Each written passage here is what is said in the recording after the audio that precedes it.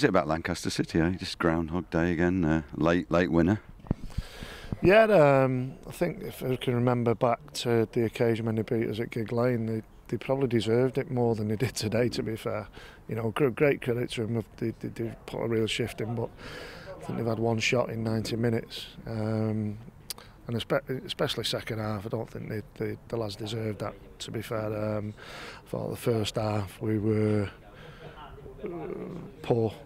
Is is the description we, for whatever reason, we've just been going over it and over it in there and asking the players for their their feedback on on the reasons behind it. But in the first half, we were nowhere near um, playing too many safe balls. Nobody looking to dissect and, and, and, and start to really hurt them. And then, you know, it took me, um, it took the change in, in the second half to, to inject something, you know, with Mike Norton and, and Matty Walwyn and Jerome Wright later on um, to really cause them problems. And on another day, um, we win that comfortably because I mean we've hit the post. All the keepers, he's, he's pulled off three absolutely fantastic saves. You know, credit to him for that. Um, and I suppose that's the magic of the cup. You know, we've been on the the other end of it. Um, you know, when, when we played Brighton down in Brighton, I remember thinking it should have been about 10 0 to be honest, and we got a 1 1 draw. Um, Whereas today, you know, it's it's that other sickening side of it. But I suppose that's the magic of of the FA Cup. You know, we have tasted it, and um, we'll have to put it to one side now for another 12 months before we can try and try and do it again.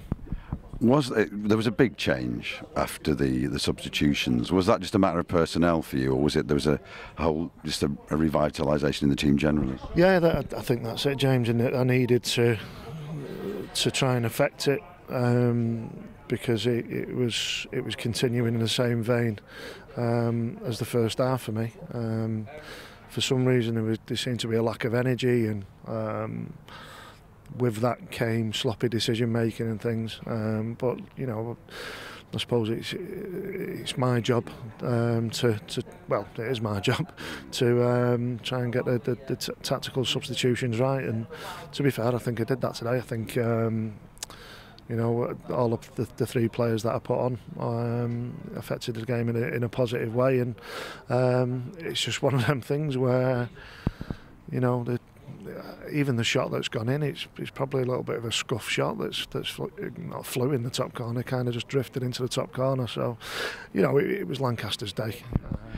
We've got to we've got to make sure that um, we get more consistency within our performances. And like I said to him in there, I've got to know what I'm going to get every every week when I turn up to a certain level. Um, and at the moment, it's it's it's it's too many. There's too many questions going around in my head as as to why um, they can't do that at the moment. Well, it, the surprising thing is that the team did seem listless and rudderless in the first 55 minutes of the game. I mean, why would why would that be? I haven't got a clue. I've not got a clue. I suppose we'll get we'll get the um, the answers from from the players how they felt. Uh, well, we've just been speaking about in there because training on Thursday was fantastic. Um, had a great finishing session on on Thursday. Coming to the warm up today, the warm up apparently was fantastic. Well, it was fantastic, um, and then they go out and, and perform like that. So, so, you know, is it a mindset issue as as to, you know, we're turning up, we're playing against a team from a lower division and um, just turning up and expecting that we're, we're going to go off with a victory. Um, that's not acceptable in any, any, way, shape, or form in at any level of football. Do you think that if you had the, the pointless question of how if you had, could do it again, you would have started with Norton and Walwyn? Um, no, but I, you know, the the team was that I selected to start was a team that, that, that did well and, and in a three-one victory only last week. So um, you know that that wouldn't have uh, become a factor. Everybody's trained well. Um, Matty Walwin especially, you know, and he, he got a, a little chance to show what he's what he's got when he played down the middle today. And you know, credit to Matty, he's he, he's done well in that respect. So um, you know, the the next one will be next next Saturday, and um, my team selection will be based on what how the players perform now. Um, within training, and then um, you know they'll be able to well, they won't be able to question any of my decisions because, you know, a, a, a defeat like that, um, I've got I'm holding all the aces.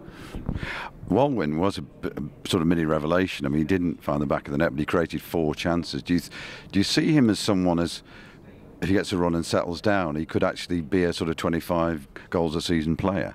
Um, hopefully, hopefully. You know, he's still young, Matty. He's um, he's one of them who, whether he comes on from the bench or starts, he always gets himself a chance. Um, some of the games where he has started, he's, he's probably not performed to the levels as, as when he's come on, you know, and that's something that we need to have a um, address with, with him, really, um, as to what his um, his approach to the game is, and um, some players are like that. Some players are, uh, you know, as substitutes come on and affect a game, and when they get a start, sometimes it, it doesn't really work out for them.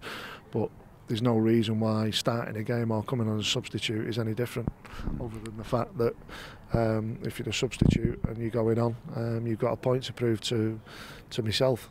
Um, I don't want points to prove. I want them to go out and you know select 11 players, and I only need to change it not not for the sake of a result. I only need to change it to um, maybe give give people time on the pitch or give people rest and things like that.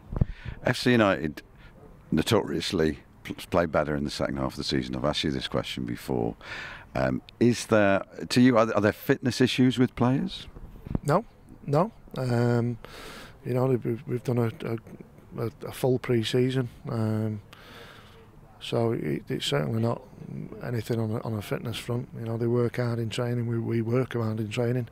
Um, I, I just think it's a mindset that we need to to address, and um, the players have got to be aware of, of the responsibility of playing for this football club. And concentrate on the league now. Um, concentrate on the next game.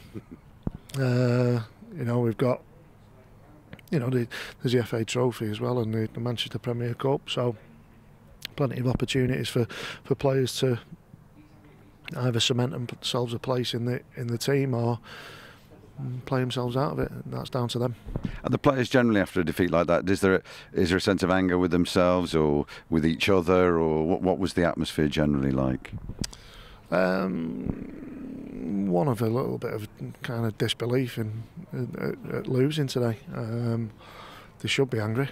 They should be, um, but it should also be um, thoughtful as to what they can do to put it right. You know, I don't live with them all, so I can't make sure that they're they're preparing. All we can do is, you know, it's semi-pro football at the end of the day, and all we can do is is see them on a Tuesday and on a Thursday and, and, and put on the best sessions that, that we can to to make sure that they're up to speed. Um, like I say, that that's been fine this week. And in the second half, um, you know, we, we, we should have taken the game away from from Lancaster, to be honest.